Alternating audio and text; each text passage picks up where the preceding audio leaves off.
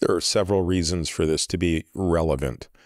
Um, you know, first you can think of this kind of at the level of just a, a thought experiment, right? So in the in the in the book I write about the Greek god Tithonus and how he wished for immortality.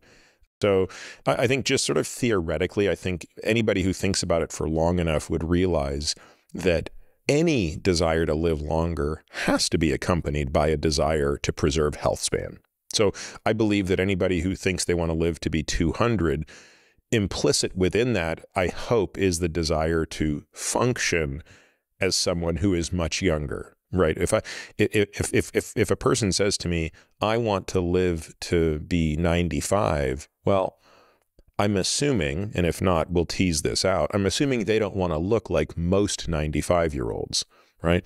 What I assume is I want to live to be 95, but I would hope that in the final years of my life, I function like a 75 year old, right? A healthy 75 year old. So, so, so, so that's why. I think the second thing here is, and the reason, at least for me, that health span is such an important focus. And we're going to talk, I'm sure, about medicine 2.0 versus medicine 3.0. But one of the most important concepts within medicine 3.0 is an equal obsession with health span as lifespan.